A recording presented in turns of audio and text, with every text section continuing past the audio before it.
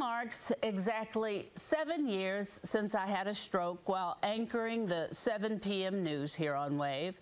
I talked with WAVE news reporter Ward Jollis about my story, and he explains how important it is to know the signs of a stroke and how to respond.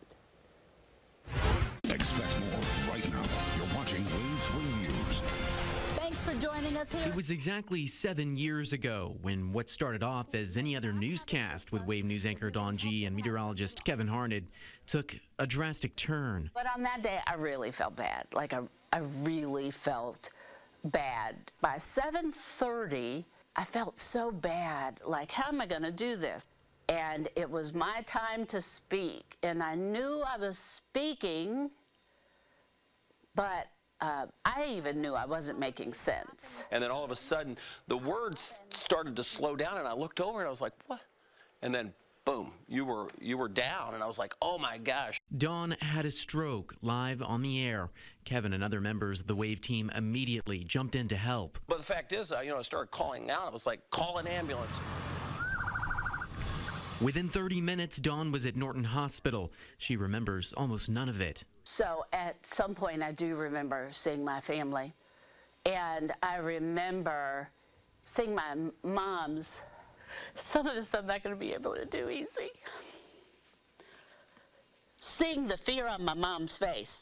My mom does not get shook very easy. Dawne was given the life-saving Activase, TPA, a drug effective for stroke patients, but only within a narrow window of time. One of the doctors at her side was Dr. Nadim Talpour. If she's delayed like in two, three hours, four hours, I'm just saying in case, then maybe she's not able to speak again. You often hear in the case of a stroke that time saved is brain saved. When someone has a stroke, millions of neurons die every few seconds. And for that reason, Talpour says it's important to know the symptoms of stroke and how to respond. The acronym Be Fast is a common way to remember. It stands for balance, eyesight, facial drooping, arm weakness, speech difficulty, and most importantly, time to call 911. If somebody is you by, you know, see anybody, you know, with the stroke-like symptoms, the first thing is to call 911. The timely actions of Kevin and others that day saved Dawne. She was able to speak again within hours, and after a lengthy and difficult rehab process, was able to get back to work within a year. To this day, Dawne has not seen the video of her stroke, nor does she want to. My whole life changed in that few seconds. I don't know that I want to see it. After all these years, Dawne continues to do the things she loves and to share her story with others. Why do I share it? I share it so it can be medicine for someone else. I made it, I'm making it, and so can you. Every 40 seconds, somebody has a stroke. Yeah. I learned a lot when I was going through this story. A lot of stats. That was one of them.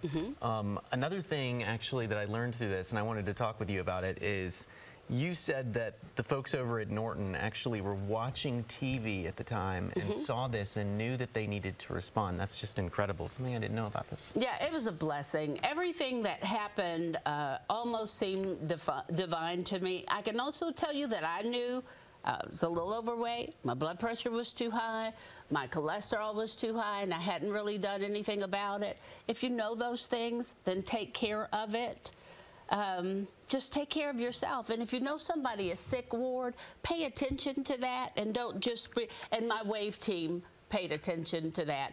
And I saw myself on that video, first time I've seen it in a while, and I could see how I was struggling. Um, that shook me too a bit.